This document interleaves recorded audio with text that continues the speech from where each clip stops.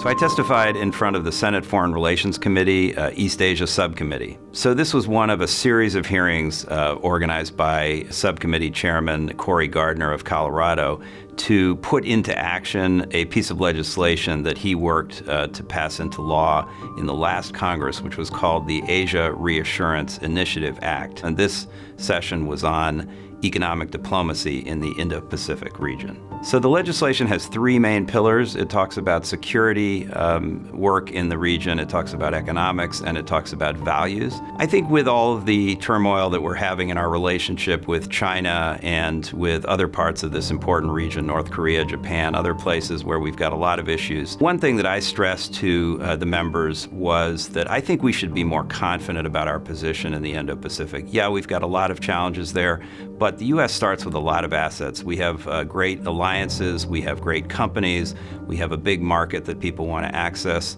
Uh, our values, our soft power is very strong and very compelling for people in the region. And so I think we should start from a position of confidence and not one of anxiety or fear uh, that somehow we're going to be pushed out of the region or that China is going to take over to our detriment. I think there are challenges uh, with respect to China, but I think the U.S. Uh, can and I believe will uh, succeed in the Indo-Pacific. For more on my testimony and this critical issue, visit csis.org.